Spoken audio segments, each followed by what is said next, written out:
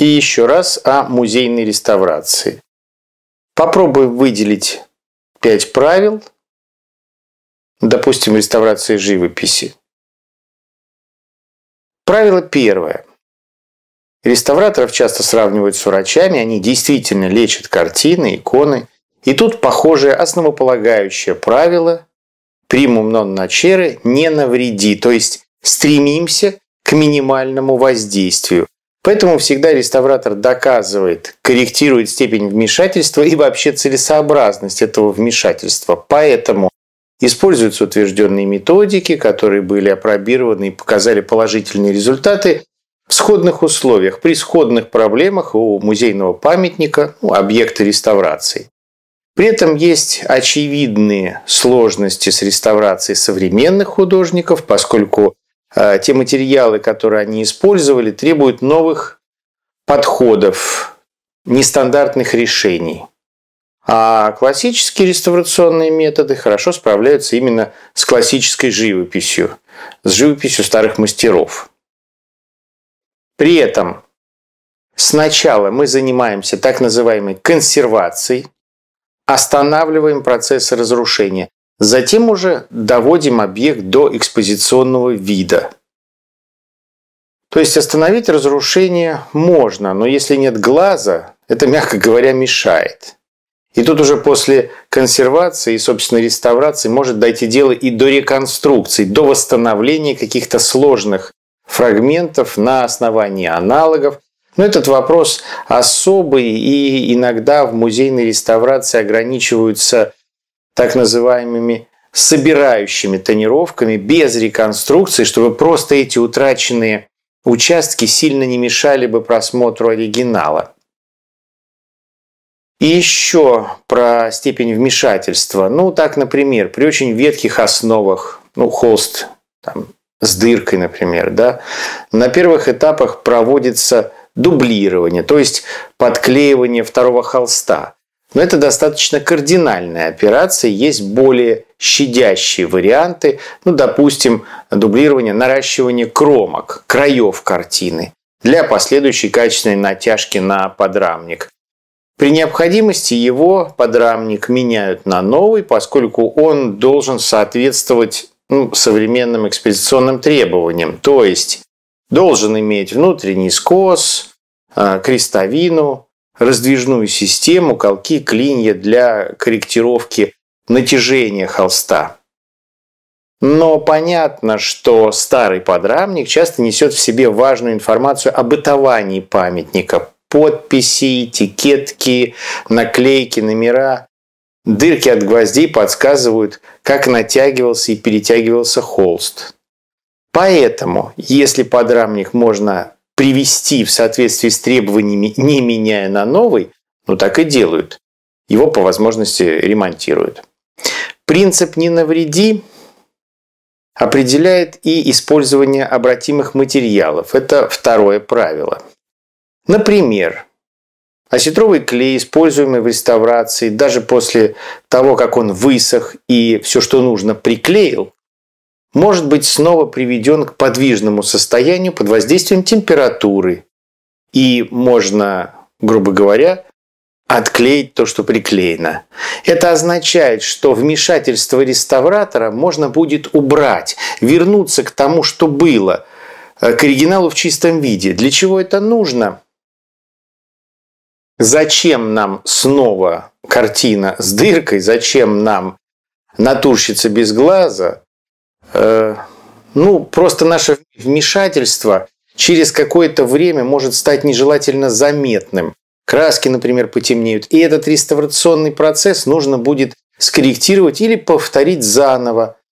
И при этом мы должны быть уверены, что легко удалим инородное, не затронув автора. К тому же методики реставрации совершенствуются, поэтому ну, какие-то процессы, возможно, будет логично полностью переделать через какое-то время. Так, например, после консервации реставратор заделывает прорывы, используя клей-меловой грунт, условно обратимый. Конечно, работает строго в границах, в пределах утрат. Да, третье правило.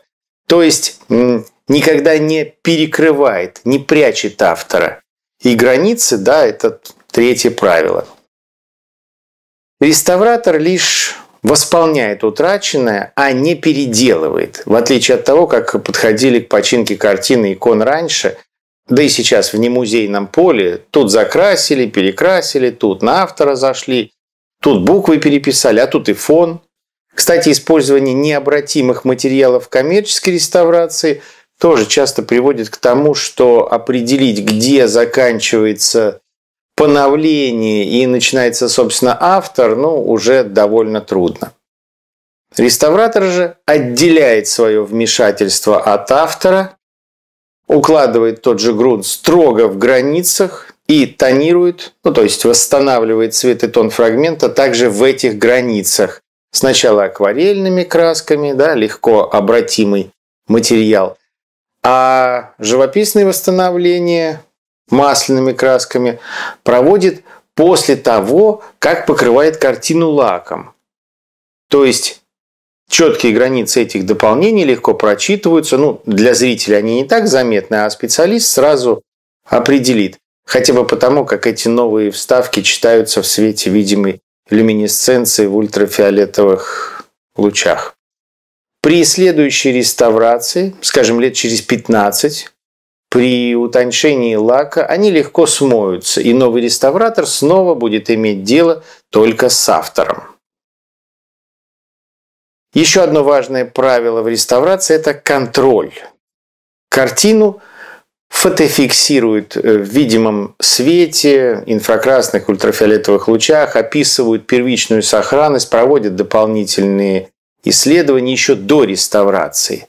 Затем план реставрации Методики, последовательность мероприятий принимает реставрационный совет музея.